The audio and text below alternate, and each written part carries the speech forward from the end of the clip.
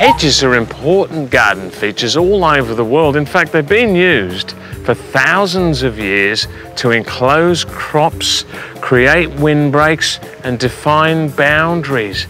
And they give us privacy and security as well as providing shelter for birds and other wildlife.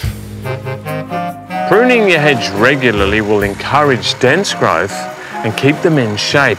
And for many hedges, you just can't beat a good hedge trimmer for fast, accurate cutting.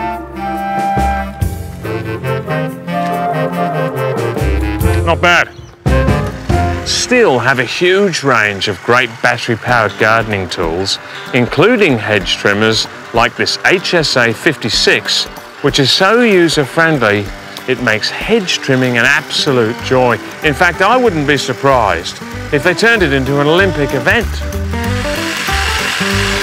Being battery powered makes it very clean and healthy. There are no toxic exhaust fumes and it's quiet enough that you don't need to wear ear protection, which is handy for a half-deaf bugger like me. It's very ergonomic too, being lightweight and manoeuvrable with very little vibration, so you can keep on pruning in comfort, ideal for those long distance hedges. Before you know it, you'll be pruning for Australia. That's the type of quality finish that'll get you onto the front cover of Hedges Monthly. The double-sided blades have a clever droplet shape that hold twigs and branches more effectively for precision cutting. And a good tip for you is to hold the hedge trimmer at a slight angle up to 10 degrees for optimum cutting.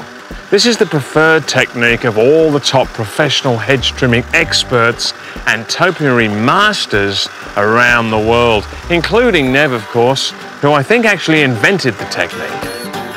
The AK battery system allows you to trim a hedge up to 140 metres long on a single charge, and it can be used in other tools in the range. Now, when you're finished, Make sure you spray the blades with the super clean just to keep them clean, lubricated and sharp.